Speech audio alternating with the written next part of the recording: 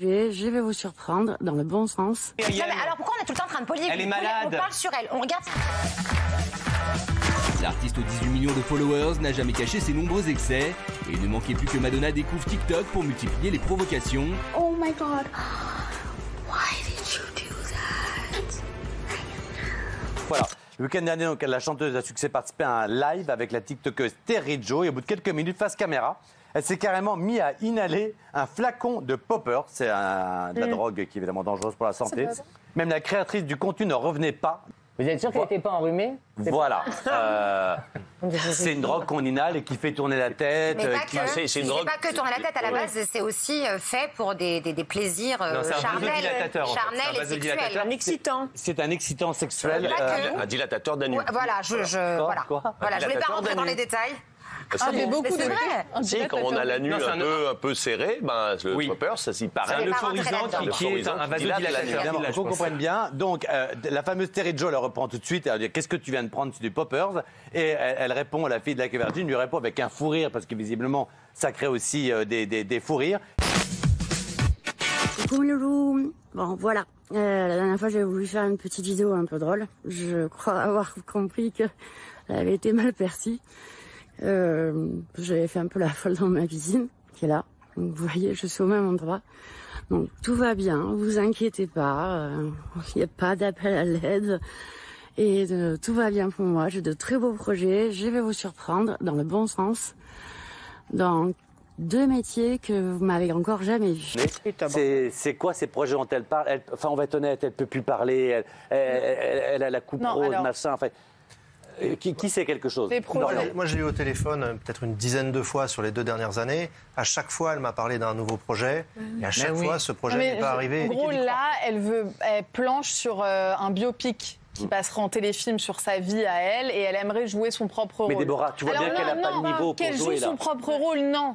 Mais quelqu'un d'autre le joue Ouais. et qu'elle s'investisse dans un projet qui peut un peu lui faire sortir la tête de l'eau et la mettre dans, le- dans le milieu entre guillemets du travail et être entourée par exemple comme quelqu'un que- comme Alexia Laroche-Joubert par exemple qui devrait visiblement l'épauler là-dessus. Elle aimerait ça et elle aimerait aussi beaucoup et ça je sais pas si c'est faisable mais elle aimerait beaucoup faire partie de la bande de euh, TPMP avec Cyril qu'elle qu'elle adore énormément Mais et encore qu'il une fois, adore on aussi. adorerait. Mais c'est pas la mettre à la En télé, fait, prendre moi, il y a hein. un truc que j'adore et que je trouve extraordinaire, c'est qu'on est là à parler d'elle presque chaque semaine, et en fait, il y a personne qui Bah, fais rien. quoi, toi Bah, Bah, bah, mais que moi, mais moi, Mais je mets avec grand. Mais moi, j'ai pas, j'ai pas votre position, Mathieu. Mais qu'est-ce que tu veux que serait je fasse. Bah, Je serais la première à l'aider. Mais qu'est-ce que Vous tu veux que je déjà fasse fait, C'est vous des pouvez médecins qui doivent l'aider, alors pourquoi on est tout le temps en train de polir Elle est malade. On parle sur elle, on regarde ses vidéos, on fait tout et au final, bah, on est juste là à regarder et à, polémiquer sans rien faire. On m'a dit que tu aurais eu une aventure avec Jean-Édouard. What the fuck C'est vrai De Prince à Jean-Édouard. Mais alors, on a, on a échappé aux paparazzi parce qu'ils ils- ils étaient tout le temps en bas de l'immeuble. Donc c'est vrai Donc en bas de chez moi. Et, et ils venaient, je, lui- je lui disais, tu gardes ton casque, tu restes sur ta moto, je te donne le bip du garage et tu... Oh my god. Et- François Hollande. Voilà. Mais combien de temps Vous êtes ensemble combien de temps?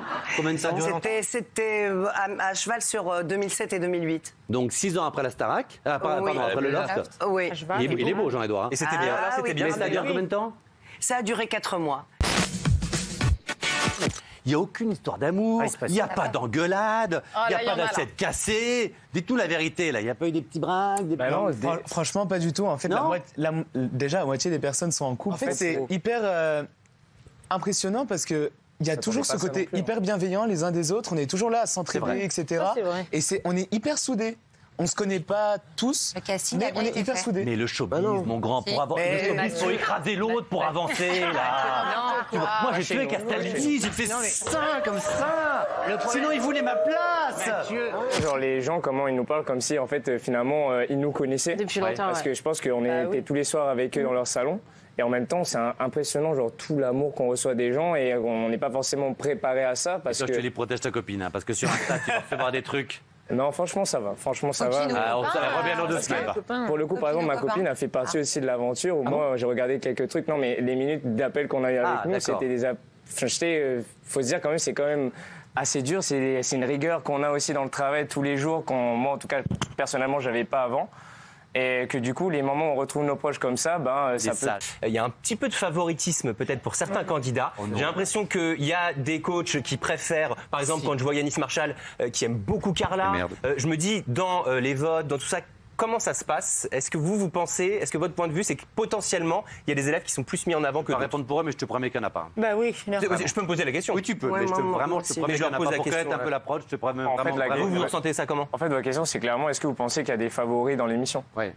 Oui. Enfin, Favoriser, Mais favoriser. les favoris, ça veut pas dire qu'on est favorisé. Alors franchement, moi je pense pas du tout, mais c'est juste que chacun, je pense, a ses affinités, que ce soit des professeurs, à que ce soit entre nous. Mais euh, franchement, ça m'étonne. En fait, c'est tellement, je vous jure que le programme était tellement oui. bienveillant que ça soit dans les jurys. Est-ce que pour vous, il y a un gagnant naturel? Là, comme ça, il y a, comme ça. Je vous parle pas des juges, mais est-ce que pour vous, il y a un gagnant naturel? Si tu devais me demander, voilà, pour toi, qui va gagner? Ah voilà. Franchement, j'ai pas d'avis parce que c'est les- c'est euh, l'évolution, la progression. avis. Je ne sais pas. Je veux un avis. Faut que je regarde euh, la Non, je veux un progression. avis now. It's not, it's now. alors. Hein Donne ton avis alors. Moi, je pense Ouais. que c'est Léa. Ok. Toi Non, euh, on l'a Non, moi pour moi, je Non, dirais que par rapport au mérite et au travail, etc., je dirais Enola. Ah Enola, ouais Et toi Oui, Alors, euh, moi, je dirais que celle que je verrais gagner, la Star Ouais. Academy, je pense, c'est Anisha. Hmm. Mais si euh, je devais dire plutôt la personne que j'aimerais voir gagner, je pense que ça serait plus un de mes rêves, ça serait genre Chris. Ouais, bah, parce que c'est quelqu'un qui m'a énormément touché dans le truc. Bien sûr, et- bien sûr.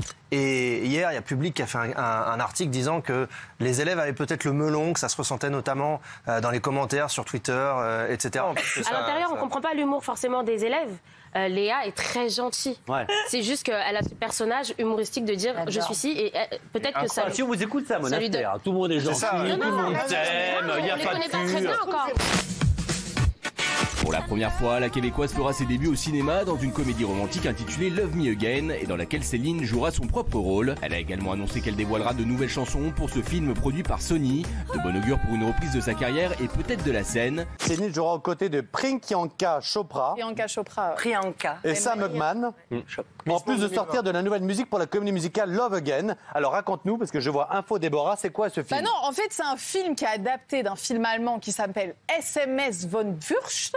Si mon allemand est bon, je crois. Bien ce film. Et en gros, c'est quelqu'un, c'est une femme, qui a- c'est une femme qui a perdu son mari et qui un jour euh, envoie un texto, l'ancien numéro de son de son compagnon qui est Ouais, décédé. qui a changé. Et c'est un autre homme qui a ce numéro, qui vit dans la même ville qu'elle, il tombe amoureux, etc. Ah, c'est un Meg Ryan, quoi. Ils sont fans de Céline Dion et Céline y incarne son propre rôle. D'accord. Mais Et les fans, en va. plus, auront la chance de voir la superstar sur grand écran. Elles découvriront par la même occasion un nouveau morceau Évidemment. interprété par la chanteuse. C'est ça? C'est Ouais. la bande originale. C'est la bande originale.